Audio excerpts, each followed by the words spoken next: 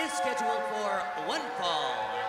Introducing first, weighing 270 pounds, the narcissist Lex Luger.